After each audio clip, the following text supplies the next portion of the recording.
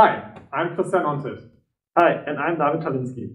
We are working as research assistants at the Department of Energy and Plant Technology at the Ruhr University Bochum.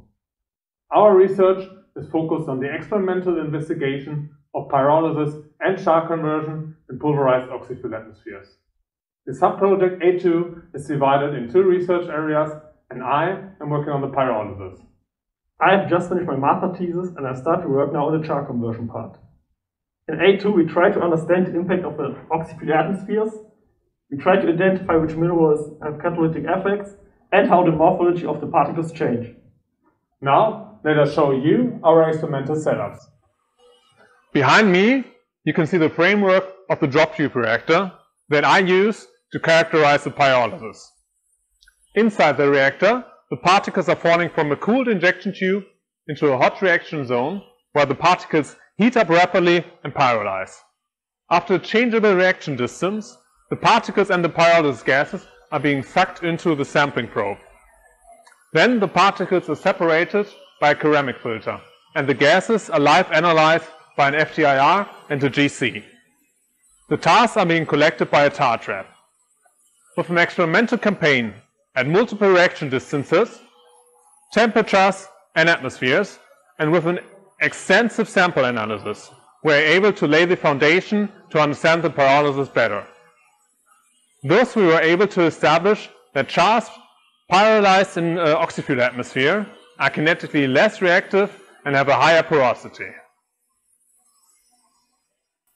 Right now, we are here in our optic lab where I'm standing in front of our setup where we do experimental research on char combustion. The setup contains a burner, our optical measurement system, and a probe. With the burner, we can create high heating rates in different atmospheres.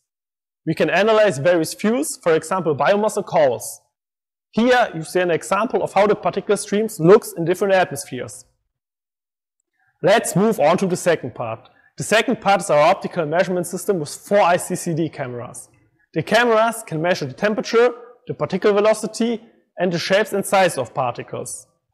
One camera is coupled with a backlight system. Here we can detect all particles, even the particles that are not burning.